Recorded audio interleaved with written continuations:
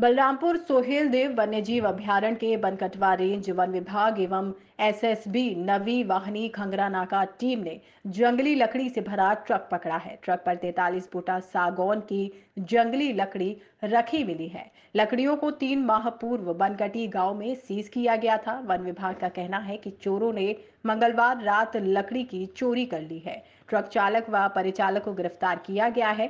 धरपकड़ व बरामदगी हरैया तुलसीपुर मार्ग स्थित भड़सहिया चौराहे के निकट बुधवार भोर में हुई। ट्रक व लकड़ियों को बनकटवा रेंज लाकर सील कर दिया गया। आज के तीन माह पूर्व वन विभाग ने 400 से अधिक बोटा सागौन की लकड़ी बनकटी गाँव के निकट सीज की थी। ये लकड़ियाँ सोहेल देव वन्य जीव प्रभाग से काटी गई थी। उस समय लकड़ियों को रेंज कार्यालय नहीं लाया गया। एसएसबी नबी वाहिनी खंगरा नाका के सेना नायक को बुधवार को सूचना मिली कि सील की गई लकड़ियों को ट्रक पर लाद कर तुलसीपुर की ओर ले जाया जा रहा है। एसएसबी व वन कर्मियों की संयुक्त टीम ने भरसहिया चौराहे पर दबिश दी। तुलसीपुर की ओर जा रहे चौदह चक्का जाम वाले ट्रक को रोककर पूछताछ करनी चाहिए। तो चालक व परिचालक कूदकर भाग निकले। ये जो ट्रक में जो लकड़ी पकड़ी गई है कहाँ से पकड़ी है और कब पकड़ी गई है और क्या कार्रवाई की जा रही है? ये बनकटी से पकड़ी गई है। इसमें बयालीस मोटे सागौन के लगे हैं। जी। सर ये बनकटी किस रेंज के अंतर्गत बनकटी बराबर इनके अंतर्गत आता है।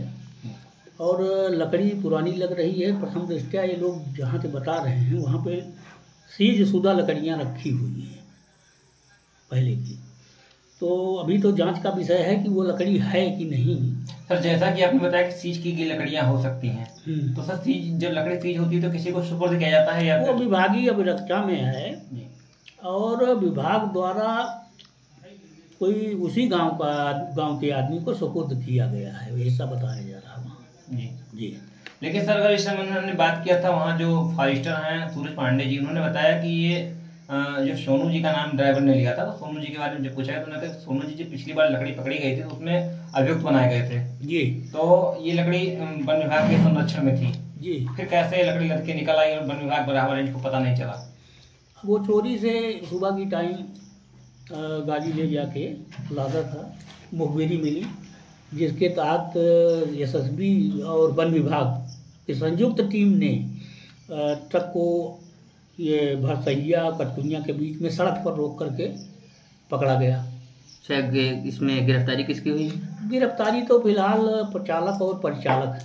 कार्रवाई क्या की गई? कार्रवाई अभी उनकी लिखा लिखापढ़ी चल रही है उनको कल भेजा जाएगा। और ट्रक ट्रक को क्या किया ट्रक को सीज किया गया। ट्रक को सीज किया गया।